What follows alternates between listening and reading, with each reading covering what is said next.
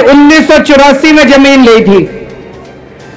35 साल हो गए। 35 साल में सारी पार्टियों की सरकार आली। सबने धोखा दिया, किसी ने अस्पताल नहीं बनाया। सारे नारियल फोड़ के चले गए। अब केजरीवाल आया है। केजरीवाल झूठ नहीं बोलता। और जो हम कहते हैं, वो करते हैं। आज आपके अस्पताल के बनने का काम शुरू हो रहा है। अभी इंजीनियर साहब ने आपको बताया, ग्यारह बेड का हॉस्पिटल बनेगा पहले फ़ेज़ में। उसके बाद डेढ़ हज़ार बेड का और बनेगा। इसी अस्पताल में 2700 बेड का हॉस्पिटल है ये। अभी पहले 1100 बेड का बन रहा है फिर डेढ़ हज़ार बेड का और बनेगा। 1100 बेड के लिए चार सौ सत्तासी करोड़ रुपए। लिख लेना, भूल ना जाओ।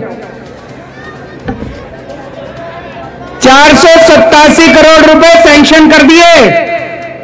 ये जो दूसरी पार्टी वाले बहका रहे हैं, इनको बता देना। चार सौ सत्तासी करोड़ रुपए अस्पताल के लिए दे दिए। टेंडर हो गए। जनवरी के महीने में अस्पताल बनना चालू हो जाएगा और 36 महीने के अंदर अस्पताल बनके तैयार हो जाएगा।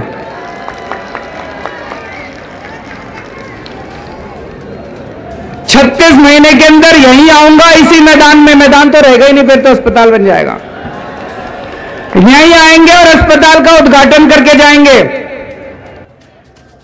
उसी तरह से आज अभी ये जो कार्यक्रम चल रहा है, ये कार्यक्रम लाइव मादीपुर विधानसभा में भी चल रहा है।